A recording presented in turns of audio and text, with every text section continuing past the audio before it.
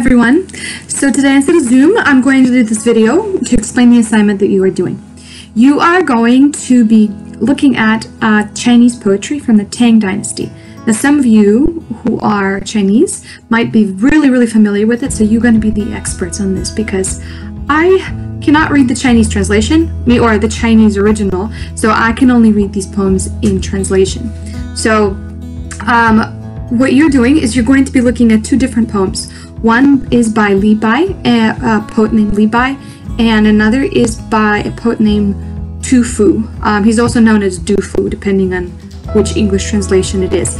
So, um, and these two poems have certain similarities and, of course, certain differences. Both of them are poets who were living during the Tang Dynasty and poets that have experienced a lot of, uh, let's say, um, societal kind of upheaval and problems and poetry was something that was um, actually encouraged and done as part of the imperial examinations of the day. And so there's just a lot of poetry during Tang Dynasty. And as you've known, as we've talked about, Tang Dynasty, Tang Dynasty definitely was the golden age of poetry. So we're looking at just like a small, small example of of the wealth of the poetry that was written in Tang Dynasty. And so I encourage you to go back and look and see, especially if you can read Chinese, to look and read some of those poetry because um, it is really quite amazing. So we're going to be looking at just two. Okay, so let's go to the worksheet that you are going to see. Okay, so you will see a sheet like this attached to Edmodo, and I will email it as well.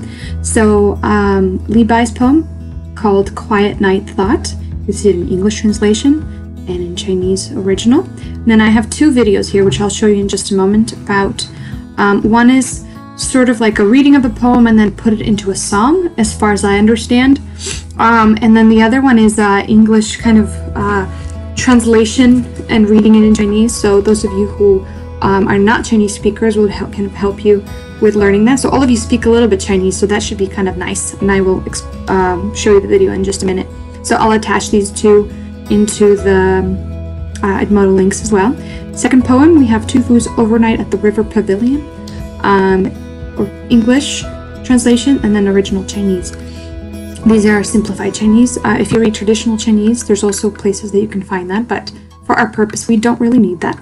Um, and then you have two facts here at the bottom. Um, so these are the two best known poets of the period uh, were Bai and Du Fu. So Bai was known for the romanticism of his poetry, and that means that he had this kind of, you know, when we mean romanticism, we don't mean necessarily like lovey-dovey love feelings. Uh, romanticism means um, looking at things and um, and talking about how beautiful they are. So like if you were looking at this beautiful flower in the garden and you're just admiring its beauty, or you're looking at a sunset and you are you're saying, wow, this this is a tremendous, and you're using colorful words. And so romanticism is finding kind of a beautiful spirit in, in nature, um, as well as people. So it's a way to use words to describe it. Okay, so don't get confused romantic with romanticism, slightly different terms. So Bai was known for his uh, romanticism in his poetry, and then Du Fu, or Tu Fu, was seen as a Confucian moralist, meaning, um, you know, right and wrong type of uh, thinking. So, what's right and wrong, and how do you do the right things? Um, he had a strict sense of duty towards society. And so his poems inspired many Chinese painters. So you'll see a lot of the Chinese paintings with Du Fu's poetry. You probably have definitely seen it, even if you didn't know that it was um, Du Fu. So second uh, fact is that skill in the composition of poetry or the writing of poetry became required study for those wishing to pass imperial examinations. You guys remember those, right? This is where, um, before this Tang Dynasty, we had uh, imperial examinations set up as something where you can uh, move up in society if you pass certain examinations. So uh, this was kind of like social upward movement, as we call it. And so writing poetry was seen as a big deal and as a skill that you needed to know if you wanted to move up in life. Okay, so very different from today. Nobody thinks that writing poetry is a skill to have to get a top you know ceo job or something right but um, it was also very heavily competitive meaning they competed uh, with who wrote the best poetry and kind of like had judges to vote and so you know having contests um, at banquets or banquets. I can't read that word. And courtiers were common. So poetry was this huge central idea in um, in the Tang Dynasty and kind of in other dynasties as well. So we're looking at these two, um, and I'm just going to read them in English. You can you read in Chinese. You can read that. So moonlight before my bed, perhaps frost on the ground.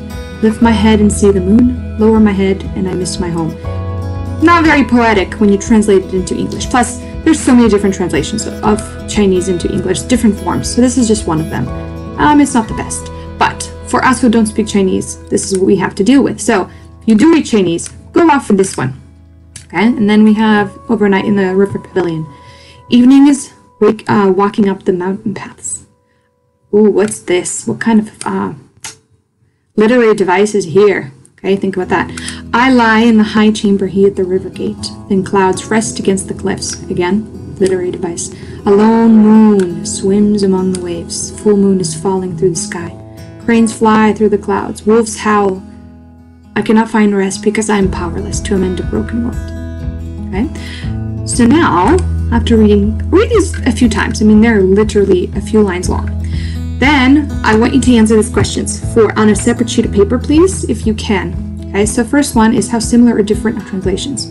Those of you who speak Chinese. As I said, some of you speak Chinese. I mean, most of you speak Chinese, maybe not as well to read this, but um, when you hear it in the video, uh, I don't have a video for this one actually, I couldn't find it, but when you hear, go off with the first poem. When you hear Chinese and English, how similar or different is it? it? Is it so far removed? So just give me your honest thoughts here in the first question. If you don't understand Chinese well enough to answer this question, skip it. But I know those of you who do speak Chinese well and can read, so if you skip this question, I will find you. Okay, what themes do these two poems have in common? Both of these are something to do with night, right? Something to do with thinking. Mm. Okay, so I'm gonna give you those two hints. Um, and when I'm talking about themes, I'm talking about ideas that are kind of um, prevalent or ideas that pop up in both poems. Okay. Third question: How does the first poem show the romanticism of the poem? Poet. Okay, so remember Bai, who wrote the first poem, is was kind of romantic or had romanticism in, in his poetry. How does uh, this poem show us that romanticism? Okay, um, ask your ask your adults at home as well if you are stuck on this one. I'm sure that they will help you out as well. That'd be a good thing to talk to your parents about or adults. Second one, how does the second poem show the poet's duty towards society? Okay, so we have another poet, Evening Thoughts, thinking, thinking, thinking, and he is, whoops, he's thinking something about society. Okay, so I want you for question and three, four, give me small details from the text to help you answer the question. You're not writing full paragraphs for this, but your response could be something like, the second poem shows the poet's duty towards society in the way that he says this, and this shows that he's worried about society, right? So that is um, your um, basically assignment for today. Um, the videos, uh, let me go back to here. The first video is you'll see this one, okay? From growmommy.com. Today we're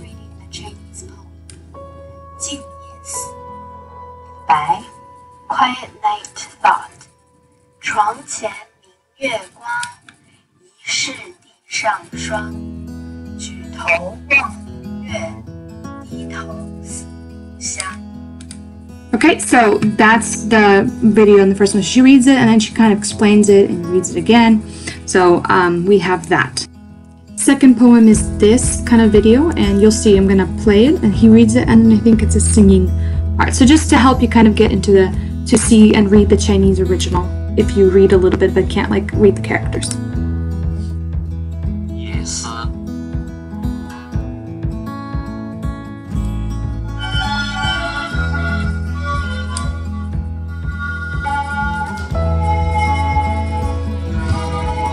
床前明月光，疑是地上霜。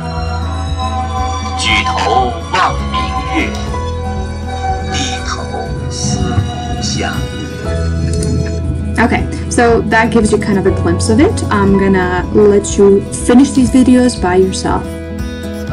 Okay, so yeah, just uh, on your own separate sheet of paper, please answer these uh, these four questions uh, to your best ability and send them in the Edmodo.